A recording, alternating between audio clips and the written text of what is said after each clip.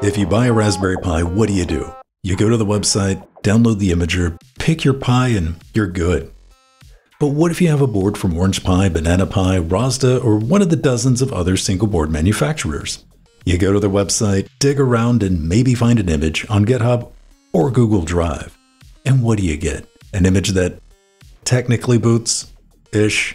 With Raspberry Pi, you get Raspberry Pi OS, and you're off to the races. Yeah, there's a reason this chart looks like this chart. Raspberry Pi is a software and hardware company, while everyone else pretty much sticks to hardware. But what if you want a full featured Linux distro for your not Raspberry Pi?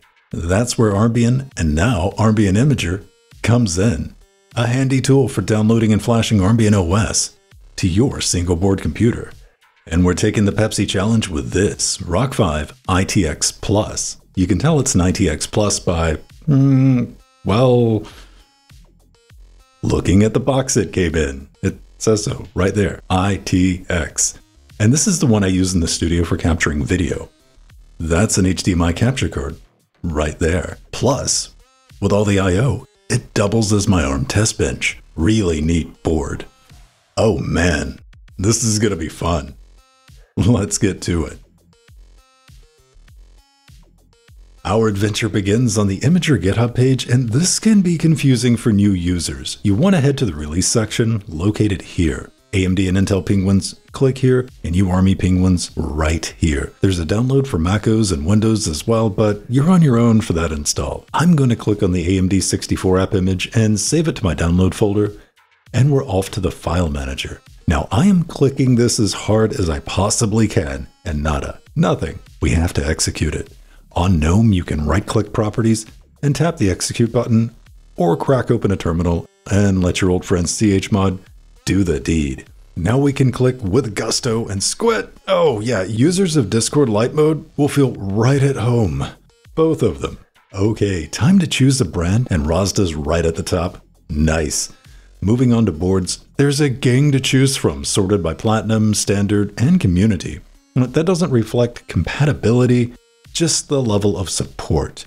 Now let's search for IT, and there's our ITX. Now time to pick an OS. There's options to sort by recommended, stable, nightly, apps, and minimal.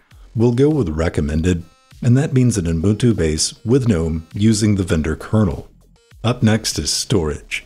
I'm using a vintage 16GB SD card that begs for the sweet release of death, but today is not that day. Time to select a drive, click Erase and Flash, wait for the image to download and decompress, and tap in some password digits so it can write the image to the drive.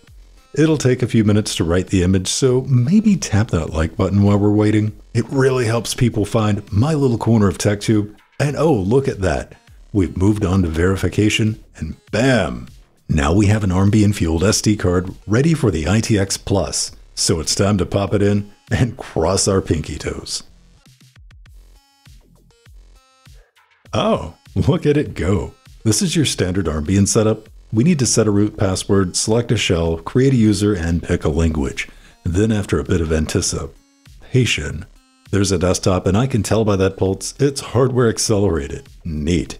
Now, I want to install the system to an NVMe drive, so let's go ahead and power down, because I need to apply a liberal dose of NVMe and NVMe accessories, then power on the system with the SD card in place. Back on the desktop, we're going to open the terminal and run the Armbian installer with sudo powers. I'm going to select boot from eMMC with the system on NVMe. Proceed, agree to wipe the data bits, select NVMe drive, and warning! It's really going to wipe the data. Now I can pick the file systems for the drives and away we go. The installer says it will take around 21 minutes to finish, so you got about 4, possibly 5 minutes to grab a drink. It's finalizing sync, and look at that. We're done, but instead of rebooting, we need to power down the system, so we're not in a race to yoink the SD card free from the jaws of Mr. ITX Plus face. Time for the moment of truthiness. Wow, that didn't take long at all, but we still need to check for updates and install any newness. Ooh, yeah, no. And I'm installing the kitchen sink firmware just for good measure. That's wrapped up, so one more reboot to get things sorted, and here we are. Time for old Doc Venn to give this board a physical. Starting with Wi Fi, I don't have the antennas plugged in, so it's doing really good to see the 5 gig in the studio and no problem connecting. Ether noodles are connected at 2.5 and 1 gig, but you can mix and match. Bluetooth sees my trusty Xbox wireless controller, and I'm plugged into a 1080p monitor, but there's plenty of resolutions to choose from. Sound is coming out of all the places HDMI, DisplayPort, and 3.5mm jack. That doubles as an audio input. Right on. The pack-in apps are a selection of alright videos, GIMPs, HTOPs, an Office suite to uninstall, the best video player, something for images, and an application to download Linux ISOs. Nice.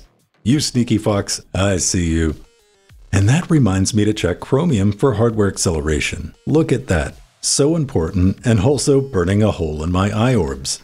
Even the terminal is pain. Let's tap the note button and much better. And I might have got lost playing desktop dress up for a moment, but it's for the best. Right, back to goth mode Chromium and over to the tubes. People put a lot of work into getting hardware acceleration up and running, so it winds me up when someone shows an SBC struggling to play a 1080p YouTube video. Now, this is HTOP, and it's showing the load on the CPU cores, and things are pretty chill. And it's more the same when you tap the Embiggen button, even at 1080p. And you want to do 4K? Not a problem, since it's using the dedicated video bits in the Rockchip 3588. Release the GIMP for a moment and see how it handles the thumbnail for this video. Now, I don't know if I would be doing any heavy lifting with this system, but yeah, this, this is pretty much workable for small projects. And despite the ITX Plus being an ARM PC, most things are in working order, including hardware accelerated rendering with Vulkan. Look at that horse. It's amazing. And I want to pop over to Vulkan and check out the TuxKart benchmark at 1080p.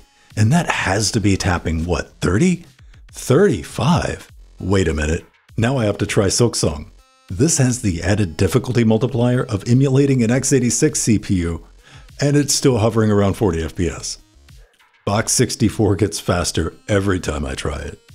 It's wild stuff.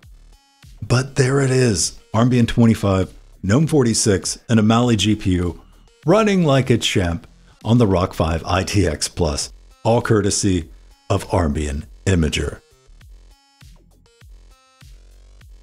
I am really impressed how well the ITX works and even more so with the Armbian Imager. What a fantastic tool for getting people started with a not Raspberry Pi. But we need to talk order of operation. If you're thinking about buying a not Raspberry Pi, check the Armbian website and see if it's supported. And if it's not, don't buy it. If you already own a board running a half functional OS from the vendor, download Armbian Imager and give it a shot. And be sure to check out the full guide on the Interfacing Linux web zone. Links to everything in the video description. And while you're down there, maybe give this one a like so more people can find it. And if you want to support my work and get early access to videos like this one, check out the Patreon. Every little bit helps. But that's going to do it for this one, so I want you to get out there and make something awesome.